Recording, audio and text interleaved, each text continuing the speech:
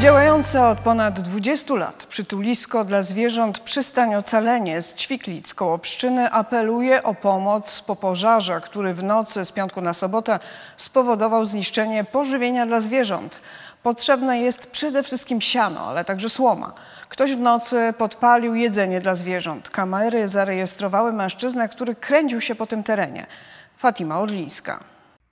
Dziś jeszcze nie można mówić o jednoznacznej przyczynie powstania rozległego pożaru. Prowadzący przystań po wielogodzinnych analizach nagrania z monitoringu są przekonani, że nie doszło do samozapłonu. Są też pewne wnioski, jednak dziś trzeba czekać na ustalenia biegłych i policji. Samo miejsce pożaru, gdzie składowane było siano dla ponad 500 podopiecznych, dogaszane było przez ponad 12 godzin. Niestety takie pożary mają swoją specyfikę taką, że żmudnie, żmudny jest proces y, do przegaszania, tego pogorzeliska, przelewania tych materiałów, które były zniszczeniu.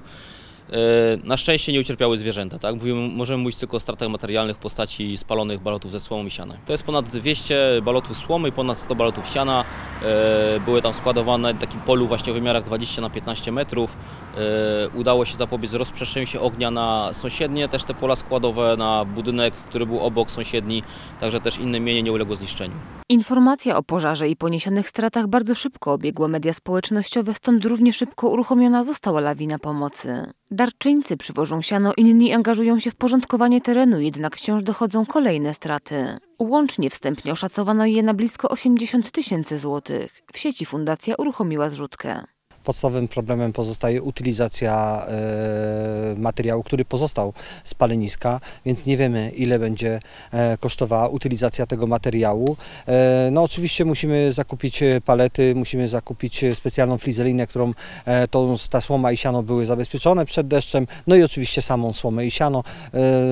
Zniszczeniu uległo około 600 sztuk balotów, no co jest znaczące dla naszych podopiecznych, tym bardziej, że zapasy słomy, no, miały nam wystarczyć gdzieś do przełomu stycznia-lutego. Materiały, które spłonęły, słoma i siano jeszcze nie były przez nas zapłacone, a już musimy kupić następne, więc to jakby potęguje, potęguje problem, tym bardziej, że prowadzimy e, działalność jakby całkowicie niezarobkową, działamy jako organizacja non-profit, utrzymujemy się tylko i wyłącznie e, z wolnych datków. Jak przekazała dziś pszczyńska policja, wciąż trwa ustalanie okoliczności powstania ognia. Przedstawiciel fundacji poinformował nas, że w poniedziałek przekazał policji nagranie z kamery monitoringu umieszczonej na jednym z budynków. W pożarze nikt nie ucierpiał.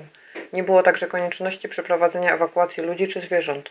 Pszczyńscy policjanci zabezpieczali teren akcji oraz przeprowadzili intensywne ustalenia. Mundurowi z udziałem biegłego, który wydał opinię w tej sprawie, przeprowadzili oględziny pogorzeliska. Po uzyskaniu przedmiotowej opinii będzie można określić przyczynę pożaru. Cały czas w tej sprawie wykonywane są czynności. Wolontariusze fundacji apelują o każdą pomoc, nie tylko finansową. Potrzebne są również każde ręce do pracy i specjalistyczny ciężki sprzęt, który pomoże w wywozie i utylizacji pozostałości po pożarze.